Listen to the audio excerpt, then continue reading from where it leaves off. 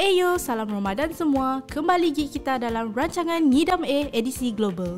Jadi, hari tu kita akan pola menu special sikit. Instead of pola sigit resepi, hari tu kami orang mau pola dua resepi yang teramat simple, cepat dan mestilah nyaman. Resepi ngidam A kita hari tu adalah French toast and onion soup yang berasal dari Perancis.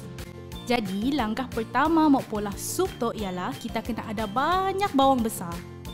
So, kita potong 6 biji bawang besar nipis-nipis ke datuk.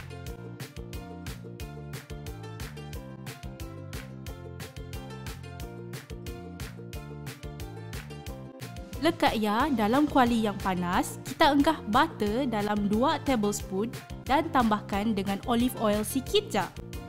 Bila butter kita dah cair, bolehlah engkah bawang besar yang kita dah potong tadi. Okey, paling penting untuk pola French onion soup tu is kita kena brownkan bawang besar kita to perfection. Perfection gini ya. Ha, kita moknya color keperang-perangan. Then, barulah kita enggah 2 tablespoon tepung gandum untuk pekatkan sup kita kelak. Kemudian kita gaulkannya sehingga sebati. Ha, tok pun main ingredient dalam kita pun resepi juga which is beef stock. Beef stock tu kami orang pakai 2 igit cube pati lembu yang dicampurkan dengan air panas. Lekat tambah beef stock, kita boleh tambah dalam 100 ml air dan gaulkan sup kita sehingga sebati. Kemudian kita engkah daun bay leaf sikit, dried rosemary dan 2 tablespoon apple cider vinegar.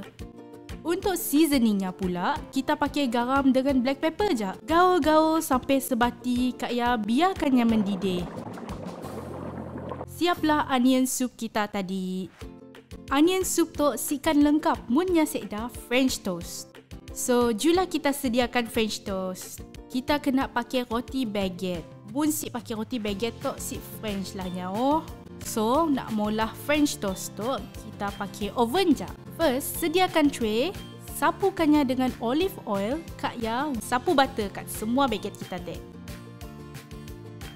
Dah sapu semuanya dek, kita engkah cheese mozzarella ke atasnya.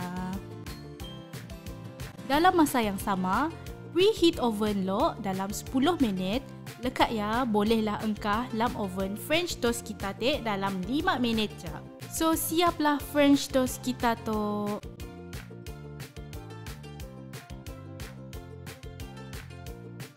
Bolehlah kita kaut sup kita te. Engkahlah mangkok yang kacak-kacak sikit, kak ya. Engkah mozzarella cheese sikit dekat sup kita yang pada panas tu.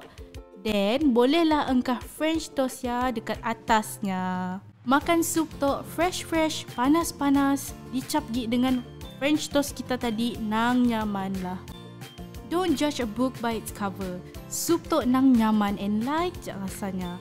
Nang sesuai pakai menu berbuka puasa and sahur. Okay, mungkin kita orang suka resepi tu, silalah pola dan jangan lupa subscribe to our channel. Okay, bye.